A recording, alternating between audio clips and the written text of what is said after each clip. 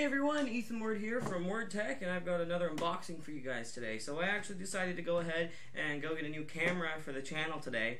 Figured I'm beyond 250 subscribers now. It's time to up the video quality a little bit and whatnot, and uh, also make it a little easier for me to film. And eventually I'll be getting a lavalier mic for the phone that I'm, which is the HTC 10 that I'm filming this on right now. So this is the last video that you should see that will be of this quality. Everything else should be up from here.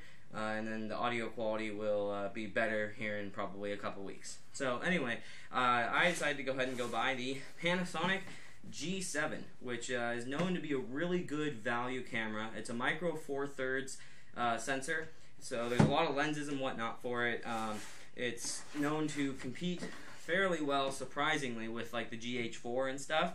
And considering that it's close to half the price, that's pretty impressive. And the GH4 is starting to get old. The video quality on this is known to be right pretty much on par with it. Image quality, the GH4 does win, but not by a huge margin. I'll cover all that in uh, some sample videos and sample images that I'll do in the review, not in this um, this unboxing here. So you may see that video being filmed with this as well.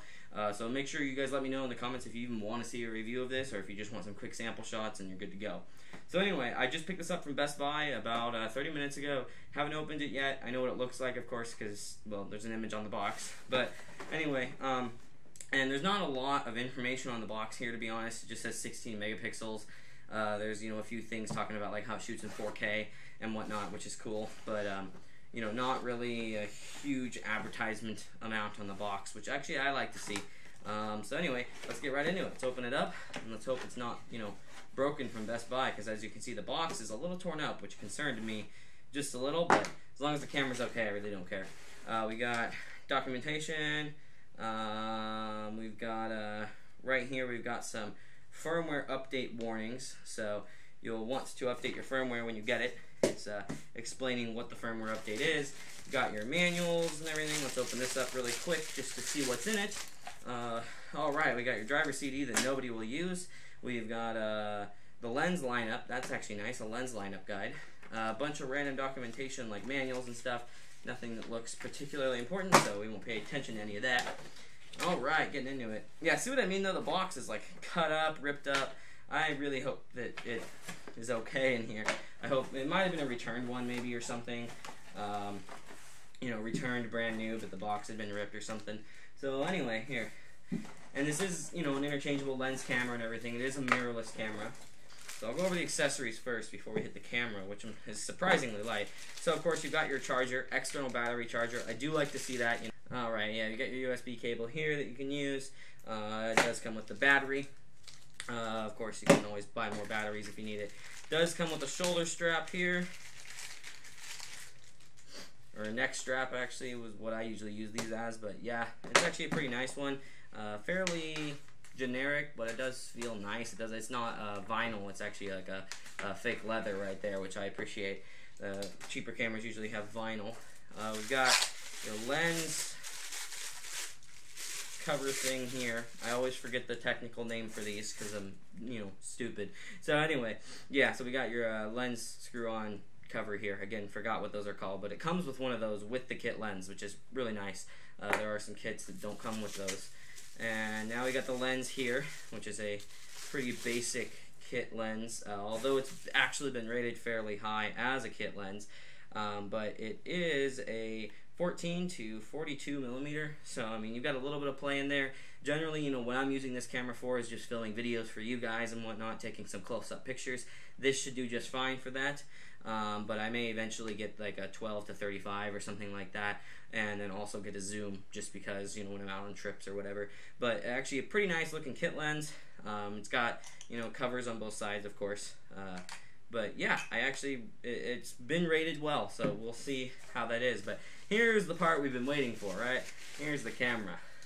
And it's so surprisingly lightweight.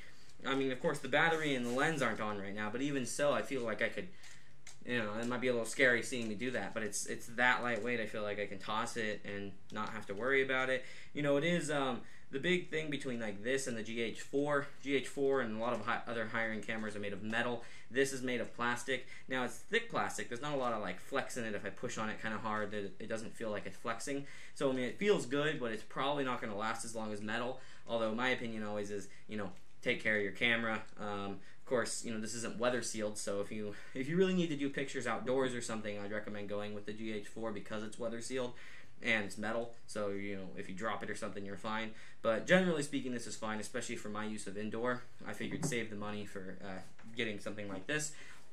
Anyway, though, just a quick overview. You've got all your buttons uh, right there, and you've got your articulating touchscreen here. It is nice to see a touchscreen on a camera. Uh, this price that also is interchangeable lens and everything. Uh, I know Sony has some that also include the touchscreen, but still, I do like to see that. And there are custom function buttons on the touchscreen that you can program to stuff. You've got your lens cover here, you've got a nice flash and everything. Uh, movie buttons up here, you're not really going to bump it, which is nice. Shutter button. You do have uh, custom dials here, which is really nice. Uh, I really appreciate seeing custom dials on it, especially multiple ones on a camera of this price. Um, and overall, it's it's really good looking. So anyway, yeah, I hope you guys enjoyed that unboxing there. Uh, this is the again the Panasonic Lumix G7. Uh, been really well rated. If you guys want to see a full review of it, let me know, or I could just put up a video that is, you know, me talking about, um, you know, or basically giving you guys some uh, shots that it's taken as well as some uh, video samples if that's what you guys care about. I'll be honest, I'm not a super big camera guy, at least not yet. You know, I know how to, you know, take good pictures and whatnot, but I'm not as uh, you know deep into the technical terms and everything for it yet. So uh, my review, if it was a review, you know, is going to be more of my opinions of how it feels and how the images come out. So if you guys just want to see some quick samples and stuff, let me know and I'll do that. Or if you want to see a full review, I'll do that as well. Anyway, though, thank you for watching. Uh, don't forget to like and subscribe. If you do subscribe, please also set up for email updates. Uh, down there, there's a little settings cog next to the subscribe button, and you can have them send you email updates. Uh, we upload at least once a week, every Monday, uh, but generally we're trying to do Monday, Wednesdays, and Fridays. So uh, there's quite a bit of video content coming out right now. And again, thank you for watching.